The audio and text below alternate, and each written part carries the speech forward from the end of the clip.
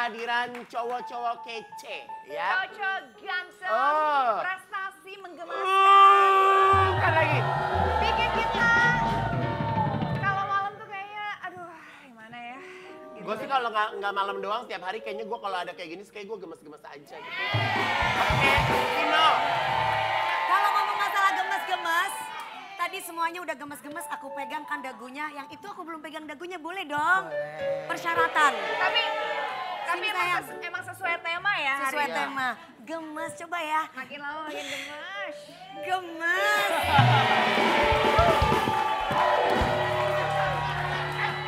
Vino, Vino, Vino, Vino. Si Vino pasti pegang apa Dewi langsung. Enggak ya, enggak ya. Coba, coba, coba. Masa segitu aku mau lihat ekspresinya. Gemes. Gimana nih?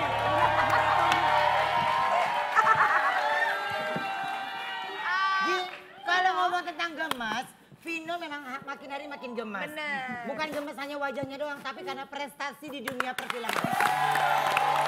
Vino, sekarang datang ke sini bawa kabar bahagia. Lagi ada film baru dan hari ini serentak di seluruh bioskop. Iya. Ya?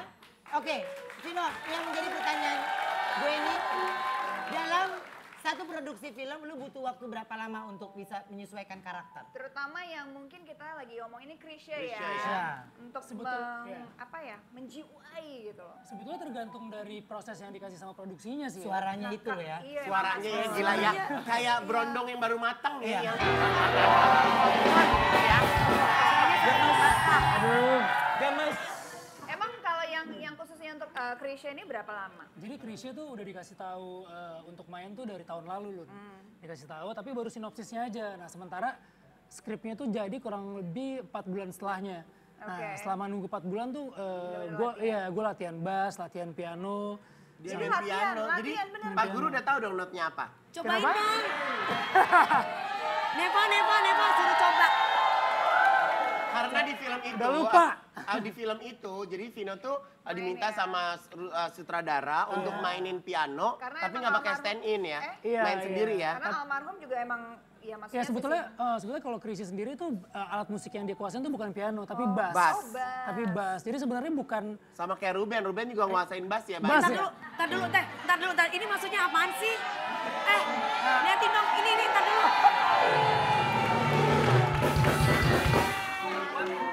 Gue nggak ngerti nih tangan suka nyelonong sendiri. Oh, Teteh jangan begitu dong, Teteh. Disimpan dulu Ini makanya gue ikat. tangannya. Suka Lanjut, lanjut.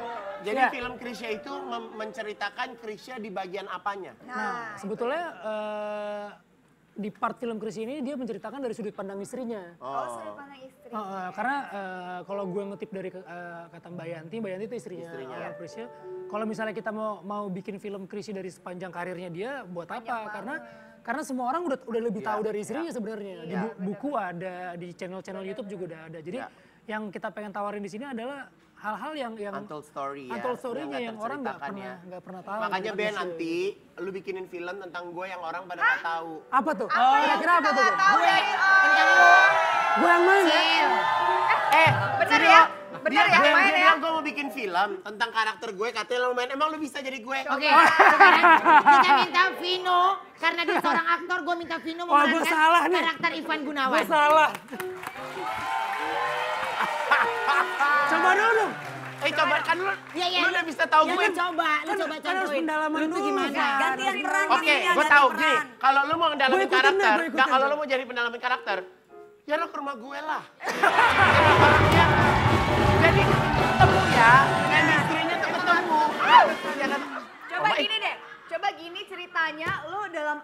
adegan nanti direka ulang sama dia. Gak bisa, lu harus benar-benar masuk dari gue coba. Coba lu lihat lihat gue aja. Oh iya, iya. Lu Gue cari- gue gue Ya lu jalan, lu ngomong. Iya, iya. Coba lu jalan. Ya udah ya, lihat. biasa aja.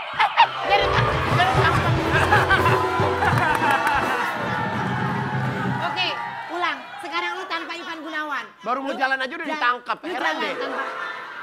Padahal tanpa Ivan. Di Oh, oh, om, om. oh, gendut, cerdas, lu perutnya. cerdas, Ya. Tiga, Oke. dua, satu. Ih, masa begitu sih, segini.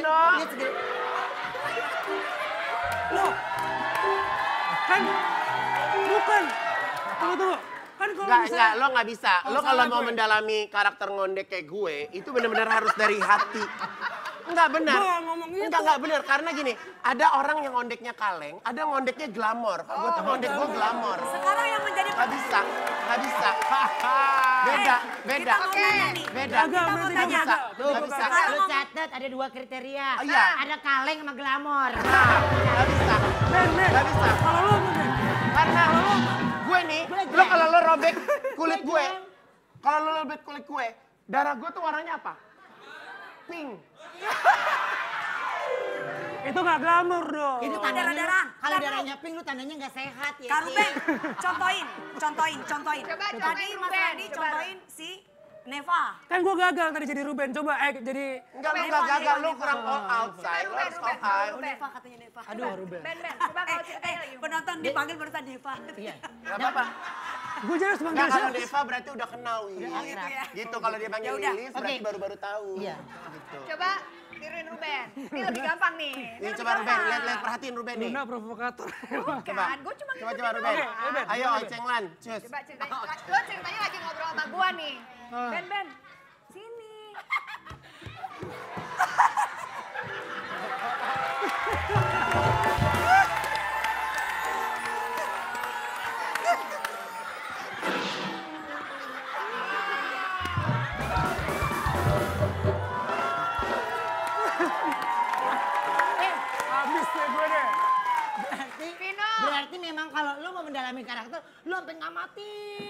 gitu Ya ya. emang Iya. harus begitu.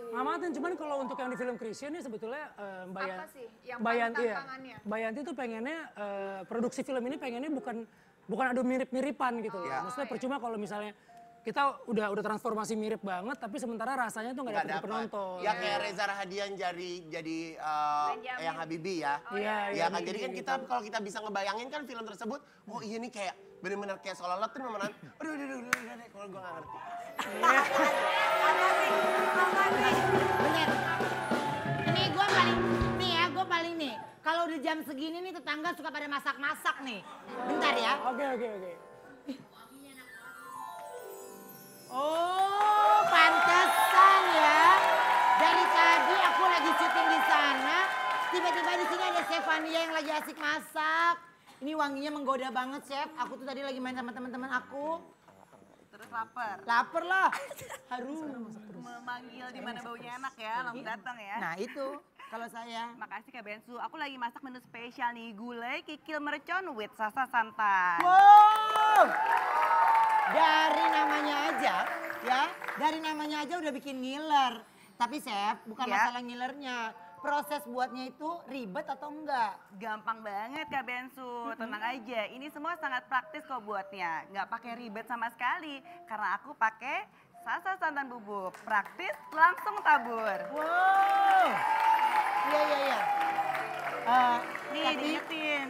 tapi chef, bukannya kalau masak santan itu harus diaduk-aduk sampai dia matang dan juga mendidih. Karena biar nggak pecah katanya, ya kan?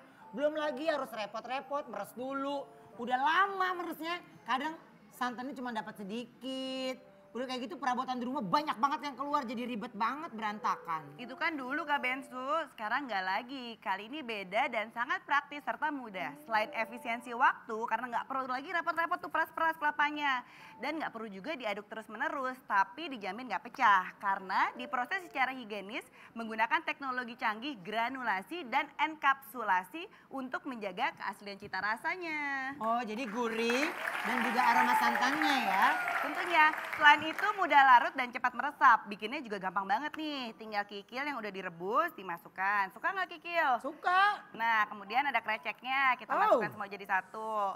Jangan lupa kita bikin bumbu halusnya. Di sini udah di blender, ada kemiri, kemudian ada bawang putih. Oh, ini bawang putih sekarang ya? Iya, Oh, terus udah ada bawang merah. enggak ya? bawang putih, bawang merah ya. Oh, iya. Terus cabe nih buat Aha. sumber merconnya. Kemudian ada cabe merah, ada jahe, ada pala, ada kunyit, ada lada, ada cangkehnya. Oh. Nah, setelah itu kita masukkan di sini ada serai, daun salam, tinggal dicemplung-cemplungin aja nih, lengkuas, kemudian asam jawa sama daun salam.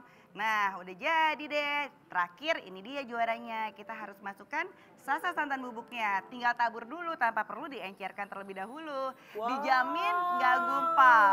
Tinggal tunggu sampai mendidih dan terus kita bisa santap deh. Tuh, udah jadi kan Iya, dikit iya, lagi iya, ya. iya, iya, biar iya, lebih iya. gurih. Ternyata ini manis yang ada di rumah saya ngelihat dengan mata kepala saya sendiri. Ternyata gampang banget prosesnya dan nggak capek harus aduk-aduk terus. Tepuk tangan dulu dong. Nah. Keren. Aku mau kasih tahu juga nih buat manis di rumah. Selain gampang membuatnya, santan bubuk ini sudah matang, jadi bisa langsung dikonsumsi. Selain itu juga dapat disimpan dan tetap segar untuk pemakaian berikutnya. Eh, udah matang nih Kak Bensu, mau nyobain nggak? Iya iya iya iya dong. Nih ya, aku kasih di sini dikit. Tapi hati-hati Iya. ya, pedas dikit nih. Iya nggak masalah, kan namanya mercon. Bener, hati-hati. Jadi ntar udah siap-siap minum di bawah nih. Biar kalau misalnya kena mercon, buk, pedes banget. Ya. Nah, enak nggak? Ntar coba ya. Kok takut gitu makannya? Minta nasi putih ya? Aku takut makan ini sambil ngelihat kamu. Ya udah nggak situ aja deh manis ya. Takut sama pedesnya ya. Coba bener enak, Enak banget. Sumpah. Ini santannya kerasa banget ya Chef ya. Santannya kerasa banget. Apalagi santannya juga meresap sampai ke kikilnya. Dan ini sangat rekomendasi banget buat manis yang ada di rumah. Jadi kalau mau bikin kreasi kreasi makanan atau juga minuman yang memakai santan, resepnya hanya pakai santan bubuk ini. Nah, bener banget. Jadi nggak perlu repot lagi, mesti harus parut-parut kelapa ya. Oh ya Kak Bensu, selain untuk masakan seperti ini, sasa santan bubuk juga bisa digunakan untuk topping juga. Jadi praktis langsung tabur aja, bisa untuk topping pisang goreng, kue putu, es buah, atau es cendol. Untuk lihat kreasi resep sasa lainnya, dapat lihat di www.kreasisasa.com. Yes, oke. Buat semuanya, Sasa santan, santan, aslinya santan.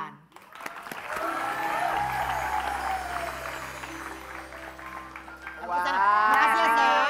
Lihat Ruben makan kita jadi lapar ya.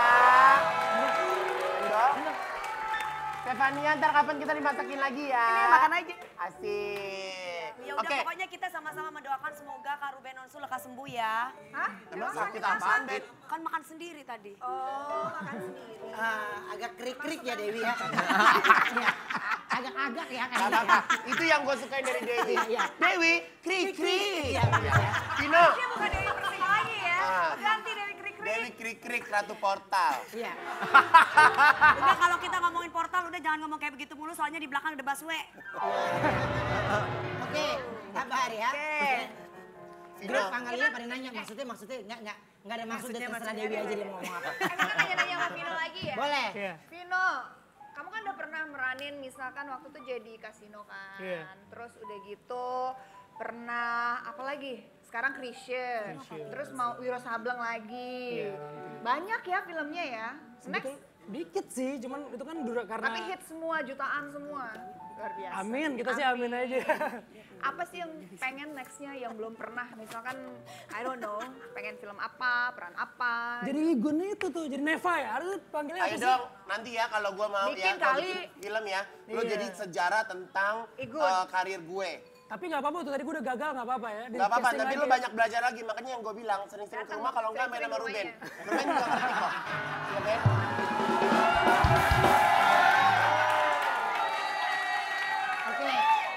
Kalau kalau Randy melihat sosok Vino dengan peran-perannya seperti apa? Karena kan belum eh, Randy dijawab. Oh, tadi belum jawab. Oh, belum jawab. Belum. Belum, Wi. Oh, orang belum jawab nih.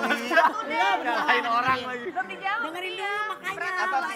Film apa lagi standar sih pertanyaannya cuma ya. Iya, ya. kalau ditanya gitu bingung juga ya, per- peran apa ya, karena banyak banget yang belum gue mainin juga sebetulnya. Kalau Kaget gue. Ah, kamu mah. Masa sih? Banyak sih. Coba. Pada aneh. Gua nggak ngomong apa-apa, gua cuma bilang, ah kamu mah. Kenapa? Gak apa-apa, gak apa-apa. Coba gini, sekali lagi. Seolah-olah Vino jadi Igun bawain brownies, eh, Randy jadi Ruben bawain brownies. Kayak Ah. gimana? Coba. Coba. coba kalian Coba, berdua kan aktor nih. Coba. Nih Ruben nih. Lo jadi Ruben, Lo jadi lo Ruben. jadi Igun. Ah, Vino nggak usah digendut-gendutin dong, Vino. Ini gua harus pendalaman karakter juga nih. Igun pernah kurus loh. Pernah dulu Pernah banget model. dulu lo nonton gue. Model, cover boy zaman dulu. Cover girl. Kayak cover girl, sorry.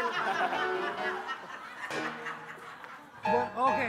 Lu jadi Igun, lu jadi Ruben ya. Oke. Gue takut deh ya. Ini nggak ada bintang tamunya nih. Nggak, Bintang tamunya kita punya kita, kita bintang oh, tamunya. bintang tamunya. Oke. Ayo coba. Gue ya berarti bintang tamunya ya. ya. Kok makin lama makin gemes sih. Kaleng banget. Oke, oke.